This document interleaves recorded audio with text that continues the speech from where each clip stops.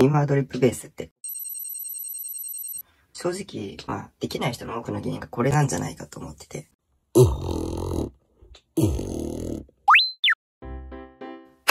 えっと、インワードリップベースですね。まあ、インワードリップベースが出せない人って、多分この動画を見たらもしかしたら出せるようになるかもしれないので、最後までご視聴の方よろしくお願いします。そもそもね、この動画を見てる人って、インワードリップベースの原理は分かってても、感覚的な部分が分からなくて、音が出ないっていう人が多いと思うんで、今回は、まあ具体的なやり方も説明しますけど、まあ感覚に、まあ焦点を当ててね、話していきたいと思います。まあそれでは、見かけた、できない人の特徴をとりあえず上げていきたいと思います。まず1個目。剣みたいな音が出る人ですね。結構意外だと思うんですけど、惜しいです。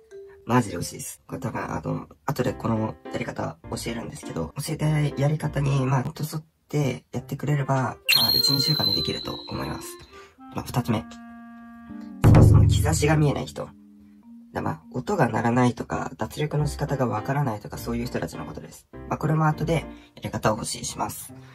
でも三つ目ですね。舌が触って音が出ちゃってる人。これね、できてるんよ、半分。半分できてるんだけど、音がまあ、高いね。自分が思ってるより音高く出ちゃってるんで、低い音を目指すんだったら、まあ、これから言うことを意識しつつ、自分の癖と戦ってください。そもそもインワードリップベースって、唇の先がベチベチ当たって出てる音で、ここで空気を吸い込むことで、あの、振動を細かくして、より低音に近づける。まあ、最初は唇が当たるか当たらないかのこの距離感をつかむ必要があって、まあ、それを知る方法が、まず口を閉じる。まず口を閉じて、まあ、できるなら脱力もしてほしい。で、そこから、あの、上下の唇が離れるか離れないかのギリギリのところまで顎を落とす。もうこれ以上やったら離れちゃうよっていうところで一回息を吸い込んでみてほしいの、思いっきり。まあ、みたいな。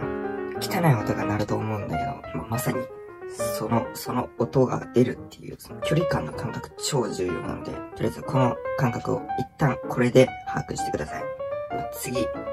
で、この二つ目のコツが超大事で、まあ、今度は、まあ、口を閉じている方向に顎をずらすんですけど、ここまでは俺より上手い人がもう説明してるし、あの、大地さんとか、そういう人たちの動画を参考にしてもらえればいいんですけど、この後ですよね。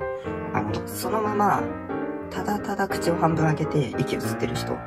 まあさっき言ったその距離感も保ってるんだけど、息を吸い込むだけだとなんか汚い音が出て終わっちゃう。それ以上なんかあの進歩の兆しがない人は、多分意識してないことがあって、一回口の中だけでいびきをかいてみてほしい。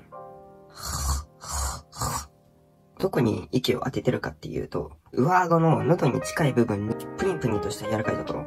まあ、多分押してみたら分かってもらえると思うんですけど、そこに空気を当てることで、このいびきって出せてるんですね。これ、インワードリップベースってここに空気を当てるんですよ。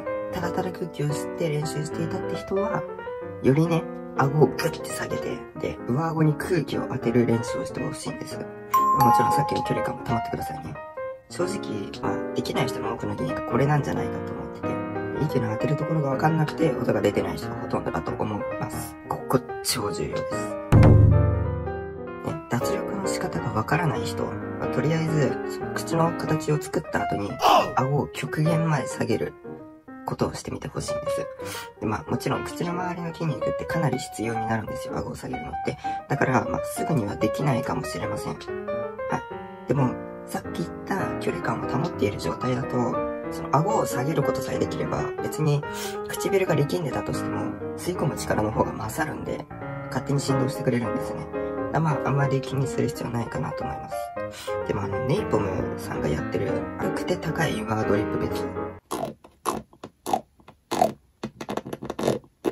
みたいなやつは、だいぶ感覚が違うんで、これもやり方知りたい人がいれば動画にしようかなと思ってます。俺もね、右側できないんで、これを踏まえて練習しようかな。あれ、できてないできてないできちゃった。まあいいや。またなんか適当に動画出しますね。それじゃあまた。